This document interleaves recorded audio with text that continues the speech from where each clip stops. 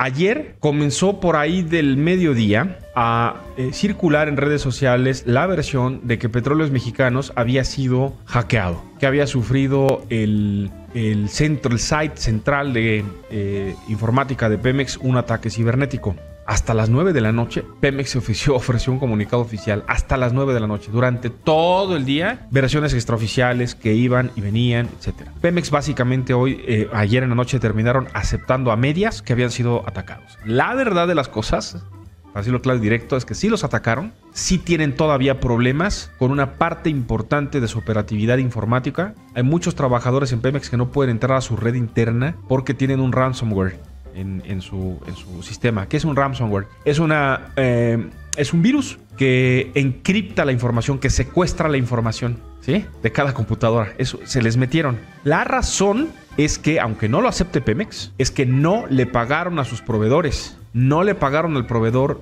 que les da servicio a su site. Por tanto, no se renovaron las licencias y los permisos de seguridad los atacaron, se les metieron. Eh, una de las cosas que se especuló es que había un problema de seguridad, eh, perdón, de, desabasto de gasolina porque había afectado el sistema de distribución de gasolina. Pemex lo ha negado, la secretaria de Energía Rosario Nale lo negó.